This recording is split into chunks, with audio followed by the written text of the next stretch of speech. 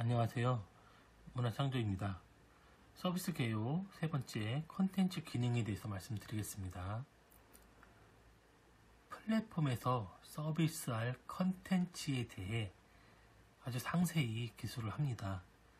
컨텐츠의 형식과 관리, 구매 방식, 사용 방법, 보안 처리, 뷰어, 플레이어, PC와 앱, 서비스 방식 등을 상세히 기술합니다.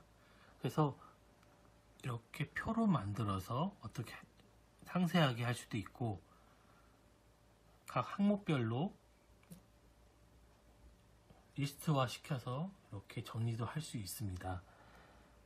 그래서 뷰어와 플레이어는 별도의 또 개발 이슈이기 때문에 이 부분도 꼭 필요하다.